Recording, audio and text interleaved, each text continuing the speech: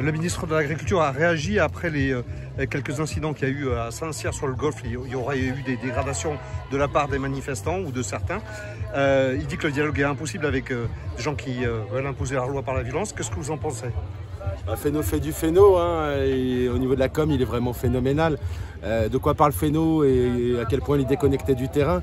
Ce qui s'est passé factuellement, c'est qu'il y a une dizaine de camarades qui, ont pénétré sur ce golfe verdoyant, arrosé par la piscine du lac lac dans lequel on ne peut plus se baigner parce qu'il y a la cyanobactérie à l'intérieur.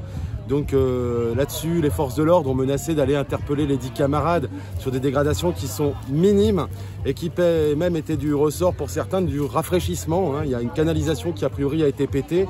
Je reprécise, c'est pas une action coordonnée par leur gars du convoi. Après, euh, remettons les choses à leur place. Hein. Euh, et ensuite, on s'est retrouvé dans une situation pendant deux heures. Un peloton de gendarmerie nous a bloqué en plein soleil. ça rime à rien. C'est un tuyau. Donc on, on, va, on, a pris contact avec euh, les, responsables du golf. S'ils veulent porter plainte, qu'ils portent plainte. Nous leur propose une négociation de prise en charge et de réparation de ce bout de tuyau. Et euh, on les invite aussi à se questionner, à discuter sur l'usage de l'eau qu'ils ont. Parce qu'en fait, s'il y a des gens qui ont réagi, c'est parce qu'en fait, ces usages de l'eau, ils sont intolérables.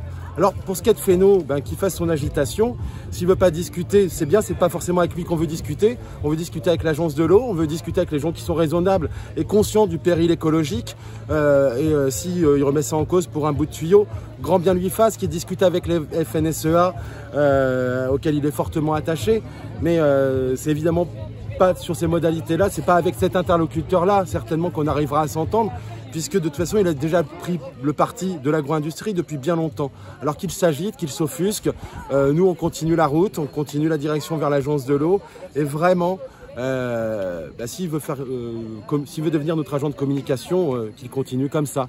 Il ne s'est pas passé grand-chose, et ce qui s'est passé est très entendable. S'il y avait une politique de conservation de l'eau et s'il n'y avait pas de pesticides, de nitrates et de phosphates mis par les copains de Féno sur tous les bassins versants de Saint-Cyr, tout le monde aurait pu se baigner et certainement qu'il n'y aurait pas eu l'idée d'aller dans ce golfe verdoyant, je le rappelle, en pleine période de sécheresse.